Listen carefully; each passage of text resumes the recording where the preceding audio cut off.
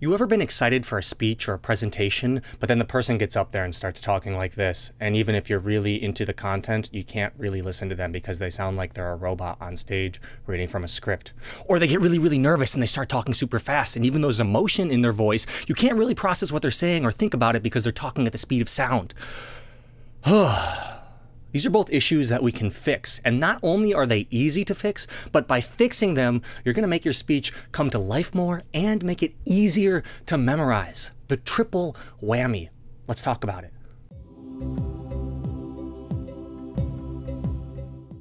A speech is more than the words you say.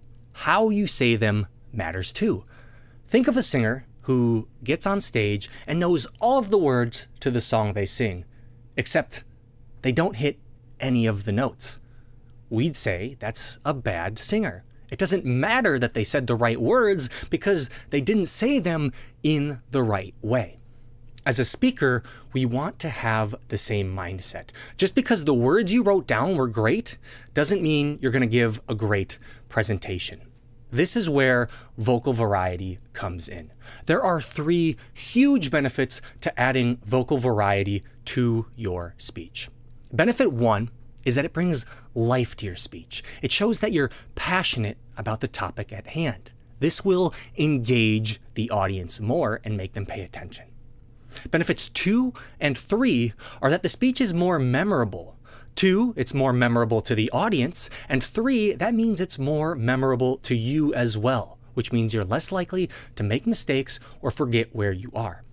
The reason this is, is because our brain actually remembers things in emotions.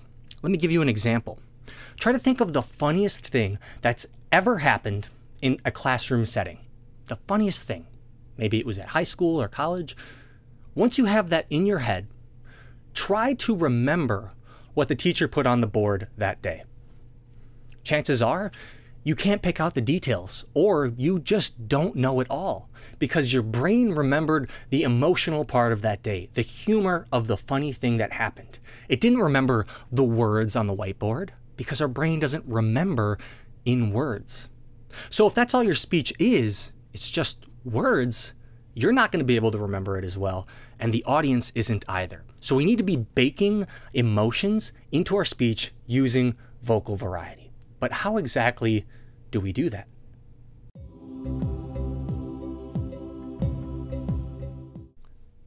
What is the first thing you should do when you get in front of your audience for a presentation? If you said start your presentation, you've already made a mistake. The first thing you should do is pause, look around the room, take a deep breath, and gather your thoughts. This has a few benefits. One, it shows the audience you're confident. Who do you trust more? The person who walks onto the stage, takes a deep breath and starts speaking, or the person who gets on stage and immediately starts talking like they want to get it out of the way or get their speech over with? It's probably the person who took their time. Your speech will also start better if you take a few seconds to gather your thoughts beforehand. When you rush onto the stage and start talking immediately, you set a fast pace in your brain. This can lead you to talking fast or your brain getting ahead of itself, which can lead you to skipping things or losing your place, and we don't want that either. This is just one of many situations you can use pauses to make a presentation infinitely better. Pauses are necessary because our brains are very active. As I'm speaking, your brain is actively listening to me. If I include pauses in my speech, it allows your brain a little bit of time to ramp up and think for itself, make some connections, validate what I'm saying. If you give a whole speech with no pauses, the only time your audience has to think about what you say is at the end. When you do that, they're likely to forget some of the stuff at the beginning, they're likely to lose their place, or not be fully engaged. Here are a few situations where adding a pause can really benefit your speech. This isn't an exhaustive list, it's just enough of one to help start you thinking about it so as you write your presentations in the future, you yourself can realize where the pauses should be. The first situation is when you do a 180. If you're leading your audience down one path but quickly take another, you should pause and let them think about the new direction you're going. Whenever you make a bold claim, that's another time you should pause and allow your audience to validate or invalidate that claim in their head. When you say something complex, you risk losing people that try to think about it. So pause, allow them to think about it for a sec, and then continue speaking so they aren't lost just thinking about what you said.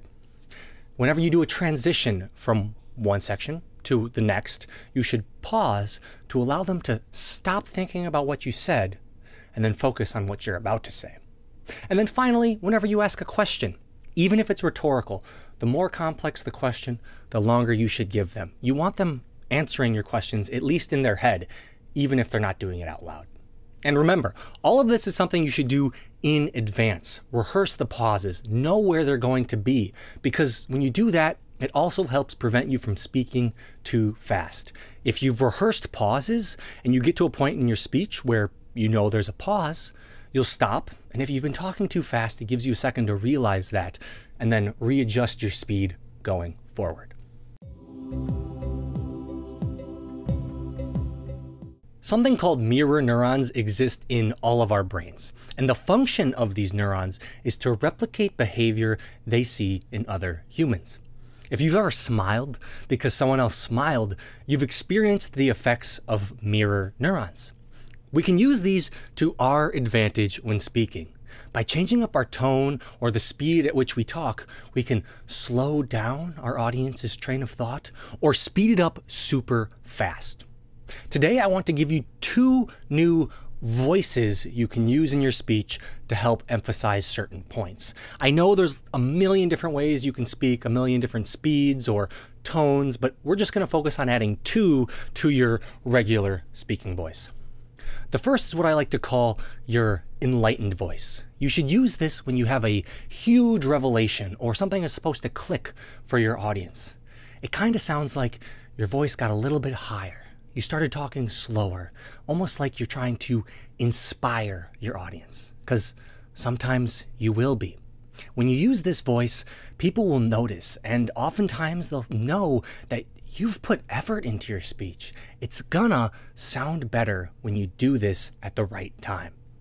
That was the first voice, the enlightened voice. It's going to sound a little different for you, and you might emphasize more or less than me, but it's a good tool to have in your arsenal. A lot of great speakers use this voice. Even Tony Robbins, amazing motivational speaker, does this voice when he wants to really drive home something inspirational.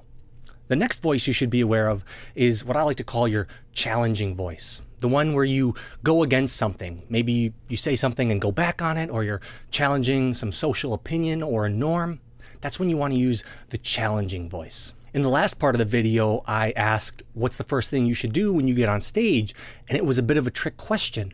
So when I said, if you think the answer is start your presentation, you're wrong, I raised my voice. I got a little faster. And that engages you in a different way. Gets you thinking, I'm wrong? What? Excuse me?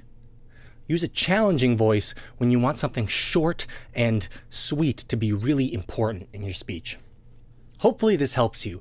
I'm losing my voice from doing this video. It's been a long day. So if you have any questions, be sure to leave them down below and subscribe for more. I'm willing to engage with all of you in the comments if you have anything to say. So thank you for your time.